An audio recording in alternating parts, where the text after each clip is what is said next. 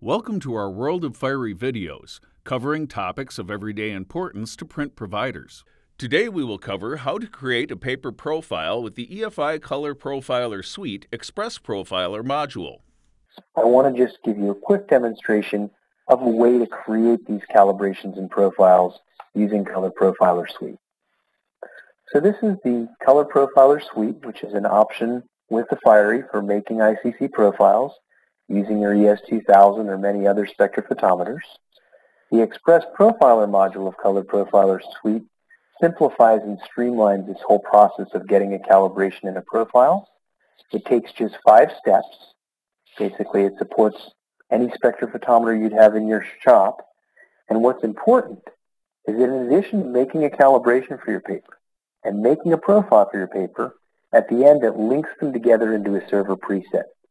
Now you can choose them using that preset so you know you get all the right settings for that paper, including the imaging settings. It also makes a paper catalog update if you've printed from the Express Profiler on a paper catalog entry on the Fiery.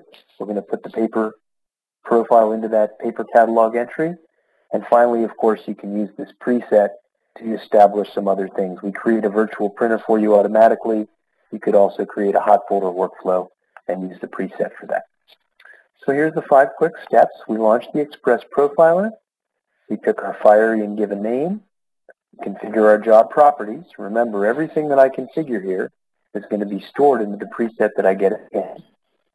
Calibration pages print and are measured.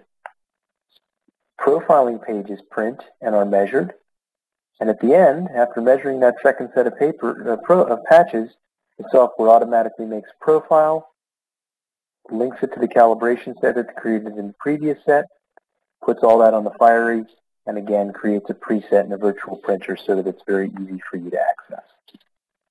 Excuse me, there's the preset that was created by the Express workflow, and here's the virtual printer that the Express Profiler module created. Finally, we look at the paper catalog entry for the paper that I used with Express. I got that updated as well. Thank you for watching.